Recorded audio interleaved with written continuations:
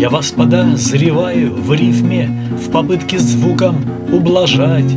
Кому вы пишете в Коринфе, пытаясь Павлу подражать? Вы соблазнительным размером наносите большой урон, Служа сомнительным примером читателям ничьих ворон.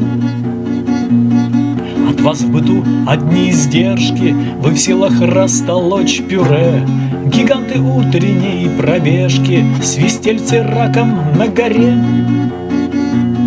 Вы только с мельницей, вояки, Поэты собственных квартир, Но как бесцельно одинаков, Без вас болезных стынет мир.